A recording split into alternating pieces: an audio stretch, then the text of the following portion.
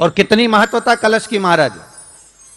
आप लोगों से भी निवेदन है, जिनके घर में ज़्यादा रोग हो, बीमारी हो, ज़्यादा तकलीफें आ रही हो, कष्ट बढ़ रहा हो, बीमारियाँ बढ़ रही हो, या भय लग रहा हो, डर लग रहा हो, हृदय चित्त में कहीं ना कहीं आपको भय का भान हो रहा हो तो एक लोटा पानी, एक कलश में जल भर कर रख लीजिए और रात भर उसको रखे रहने दो। नवरात्र चल रहा है, उस कलश को रात भर रखकर सुबह सुबह उस कलश में एक बेलपत्र डालकर उस जल को नीम के पेड़ के नीचे नवरात्र में नीम के पेड़ के नीचे सारी विद्याएँ, आद्य शक्तियाँ, सारी देवी उस नीम के पेड़ के नीचे विराजमान रहती हैं। उस कलश में एक बेलपत्र डालकर रात भर रखकर, उस जल को पूरे घर में घुमाकर, उस नीम के पेड़ के नीचे समर्पित कर दीजिए महाराज। घर में भय लगना बंद हो जाएगा। कोई बड़ी बीमारी आपको घेरेगी नहीं और उस बीमारी से, उस रोग से आप मुक्त रहेंगे।